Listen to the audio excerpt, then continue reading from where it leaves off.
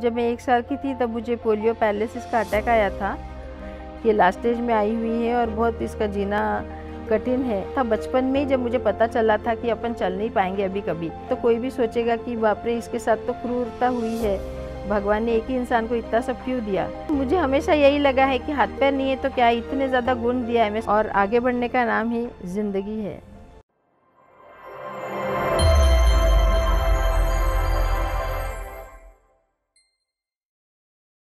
दोस्तों, नमस्ते, मैं अशिंक्य आपका स्वागत करता हूँ इंस्पिरेशनल टॉक्स में। हमारे ज़िंदगी में कोई समस्या आती है और हम उसे एक्सक्यूज देने में लग जाते हैं। लेकिन आज इंस्पिरेशनल टॉक्स में आपकी मुलाकात कराएँगे एक ऐसे व्यक्ति से जो 88 परसेंट डिसेबल होने के बावजूद भी एक श्रेष्ठ माता है, एक गृहिणी है और सबसे महत्वपूर्ण, एक यशस्वी उद्योजिका है। जिन्होंने अपने हौसलों से यह साबित किया है कि डिसेबिलिटी या दिव्यांगता यह एक शारीरिक अवस्था ना होकर एक मानसिक स्थिति है। तो आज मिलेंगे रेणुका बिडकर मैम से और जानेंगे उनकी इंस्पिरेशनल जर्नी दोस्तों इंस्पिरेशनल लोगों की जर्नी आप तक पहुंचाना यह हमारा मकसद है। हमें सपोर्ट करने के लिए हमारे चैनल को सब्सक्राइब करें और इस बेल आइकॉन पर क्लिक करें।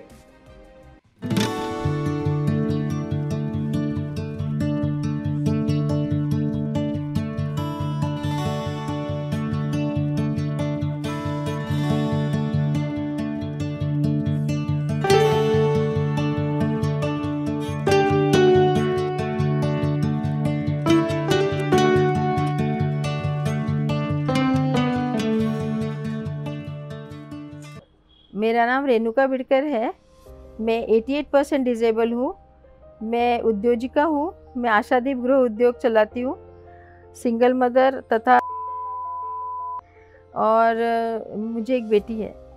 खुद अपंग होने की वजह से मुझे अपंगों के लिए काम करने की रुचि है। इसीलिए मैं उनके लिए कार्य करती हूँ। जब मैं एक साल की थी तब मुझे पोलियो पैरालिसिस का अटैक आया था। और तब डॉक्टर ने बोला था मुझे कि मेरे मेरे पेरेंट्स को बोला था कि बहुत मुश्किल है इसका जीना, लेकिन मेरे पेरेंट्स के अथक परिश्रम के वजह से उन्होंने बहुत मेहनत की है मेरे पीछे। तो मैं आज तक यहाँ तक पहुँची हूँ उन्होंने मुझे सिखाया कि लाइफ में स्ट्रगल कैसे करना है। तो मेरे आठ नौ ऑपरेशंस हुए हैं। नौ ऑपरेशंस होने के बाद भी मैंने एजुकेशन कभी मेरा बंद नहीं की है। कंटिन्यूएशन में चालू की है, कभी एक्सक्यूज़ नहीं दी कि ऑपरेशन है। तो मैं पढ़, कुछ पढ़ नहीं सकती हूँ एग्ज़ाम नहीं दे सकती हूँ। मैंने अपना ग्रेजुएशन किया है कंप्यूटर कोर्सेज किए हैं मैंने। और पढ़ते पढ़ते मुझे बहुत ज़्यादा स्ट्रगल भी हुआ है, लेकिन उसको मैंने हमेशा डिफीट किया है सिचुएशन को और आगे बढ़ी हूँ। 88 परसेंट डिजेबल होने का मतलब है मैं चल नहीं सकती हूँ दोनों पैरों से और दोनों भी मेरे हाथ थोड़ा सा वर्क नहीं करते हैं। तो ये सब होते हुए पढ़ाई लिखाई करो, यानी बहुत मुश्किल होती थी। पहले मैं कैलिपर्स और क्लचेस से चलती थी तो बहुत मुश्किल से जैसे बारिश आती है या कुछ होती है तो फिसलता, फिसलते थे या फिर रेत के ऊपर से या कोई भी चीज़ों में बहुत स्लीपरी फ्लोरिंग अगर रहता है तो तकलीफ़ होती थी चलने में। लेकिन फिर भी बारिश रहे, कुछ भी रहे, मैंने कॉलेज स्कूल हमेशा अटेंड की है। और ऐसा लगता है जैसे हम स्कूल में वगैरह रहते हैं तो जैसे बच्चे खेलते हैं कुछ भी तो मुझे भी कभी लगता था कि चलो सब प्लेग्राउंड में खेलते हैं। तो अपन क्यों नहीं खेल सकते? लेकिन ये ये जैसा ही ख्याल आता था तो मैं उसको वहीं पे डंप कर देती थी और सोचती थी कि बच्चे खेल रहे हैं ना, हम देख रहे हैं। तो मैं उसी में खुशी मान लेती थी और सोचती थी कि चलो मैं भी खेल सकती हूँ और कुछ कर सकती हूँ। लेकिन जब 2017 में मुझे कैंसर हुआ था तो वो ए प्लास्टिक एनीमिया हुआ था मुझे और बहुत ज़्यादा तकलीफ़ हुई थी। उसमें पूरे मुँह में छाले आ गए थे और ऐसे कंडीशन में चलना नहीं उठना नहीं। कंटिन्यूस ढाई महीना में एडमिट थी।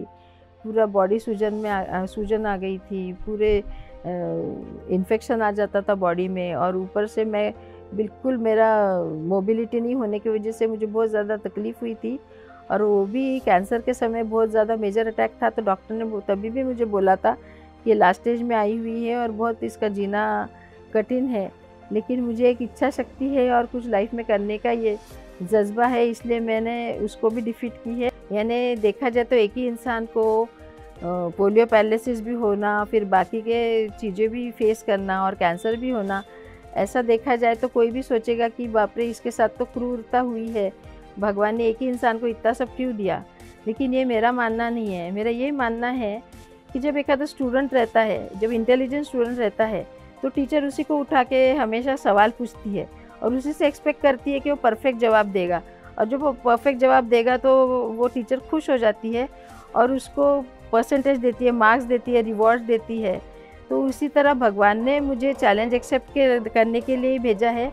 और मैं जितना ये सब कुछ हुआ है, मैंने हँसते हँसते हमेशा एक्सेप्ट किया है और आगे भी कुछ भी समस्या आएगी तो हमेशा यही चाहूँगी मैं कि मैं एक्सेप्ट कर सकूँ और बता सकूँ एक कि भाई जब हम लोग सबसे प्यारे रहते हैं भगवान को, तभी वो हमारी वो संघर्षपूर्ण लाइफ करता है और हम किसी से हटके होते हैं, तभी हमें ये सब मिलता है।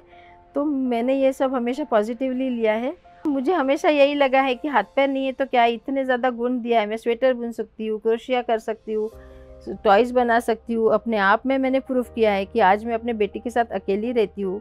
मेरी बेटी को भी मैंने अपना नाम दिया है तो मैंने ये प्रूफ कर दिया है कि हाथ पर से कोई अपाइज नहीं होता है। और ये मैंने खुद को समझाया था बचपन में ही, जब मुझे पता चला था कि अपन चल नहीं पाएँगे अभी कभी। तभी मैंने सोचा था कि नहीं, वो चीज़ नहीं है तो कोई मतलब नहीं है उसके बारे में सोच के, सोचने का। जो अपने पास है, उसका बहुत ज़्यादा यूटिलाइज़ करो और वही को, वही चीज़ को लेके आगे बढ़ो और उसी का नाम ज़िंदगी है, जो है उसी को खुशी से एक्सेप्ट करना चाहिए। कि कम, ज़्यादा, ऊपर, नीचे हर इंसान में होता है, लेकिन हिम्मत नहीं हारते हुए आगे बढ़ना चाहिए।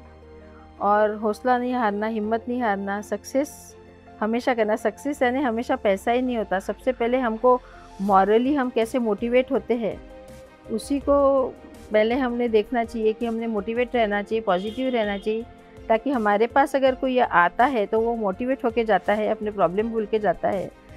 और ऐसा है कि जहाँ चाह है, वहाँ राह है और आगे बढ़ने का नाम ही ज़िंदगी है। कुछ लोग सोचते हैं कि हम बेचारे हैं, हम अपाइज है, हमको मदद करो। तो मदद करने की बजाय किसी से कंधे से कंधा मिला के चलना, उन, उनको भी आना चाहिए। आत्मसम्मान से आत्मनिर्भर होकर जीना चाहिए।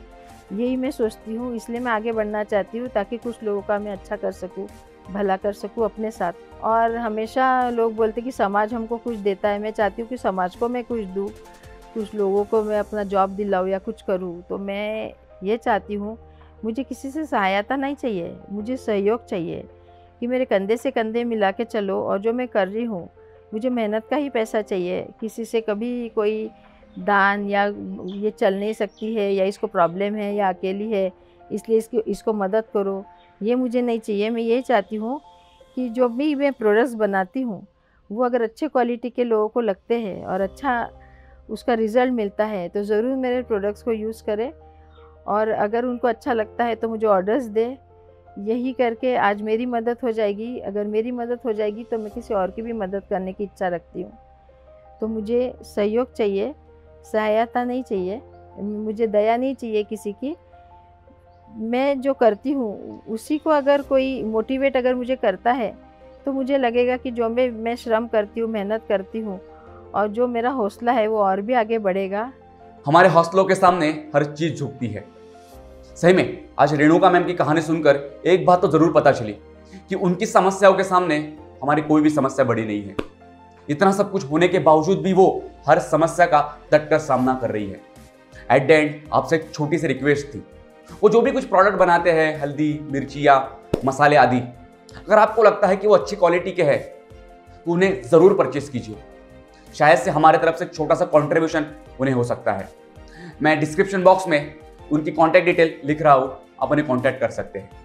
और हाँ आपको ये वीडियो कैसा लगा, हमें कमेंट करके ज़रूर बताइए। इस वीडियो को लाइक करें और हाँ अपने दोस्तों के साथ शेयर करना ना भूलें। तब तक थैंक यू वेरी मच